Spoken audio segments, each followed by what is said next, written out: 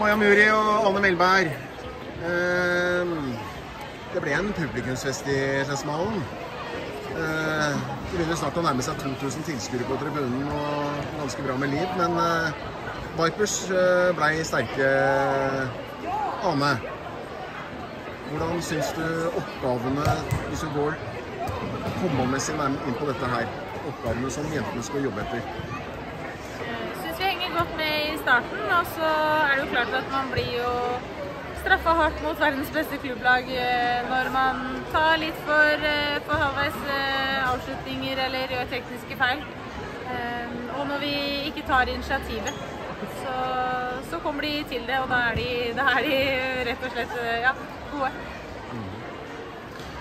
Maja, beste Reven-spiller stemt frem av publikum. Fortell hvordan det var å spille i Skedsmalen i dag, da. Ja, det er jo skikkelig moro. Og for meg som har spilt i Lillestrøm og i Skedsmalen i mange år da jeg var yngre, så syns jeg det er skikkelig kult å se at hallen nesten er full.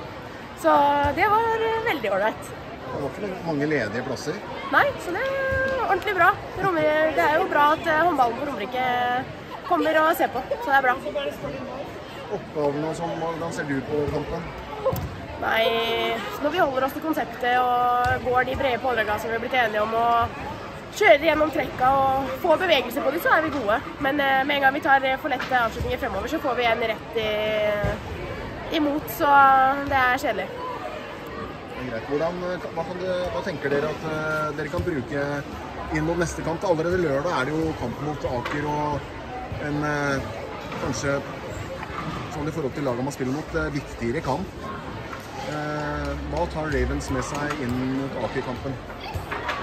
Tar jo med når vi følger konseptet, som Maja er inne på. Det er absolutt mye bra vi kan ta med oss herifra når vi eh, gjør det vi har blitt enige om, får sving på de og, og tør å gå helhjerta inn for det. Så absolutt mye bra vi kan bruke herifra. Og så må man få bort eh, de periodene vi, vi, ikke holder oss til konseptet. Det høres ut som en grei plan. Ønsker dere lykke til. Kampene kommer jo tett som hagl fortsatt her. Så eh, dere får uh, ha en god kveld.